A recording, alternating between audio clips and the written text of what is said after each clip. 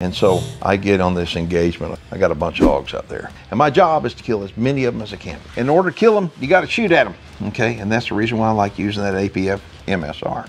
And what I'm doing, I'm trying to evaluate where all the hogs are, what the wind's doing. And when I shoot that first time, I know that it's going to be chaos.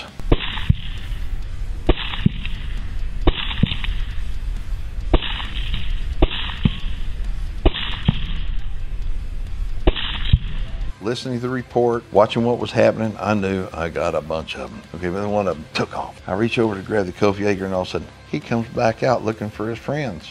Couldn't let him leave. I need to let him join them. And I think I hit every single one of them. Really good sized sow, uh, probably about 170, 180 pounds. And then this boar right here, probably 120 pounder. Nothing's wasted. We're gonna take these guys back and people are gonna make tamales out of these guys.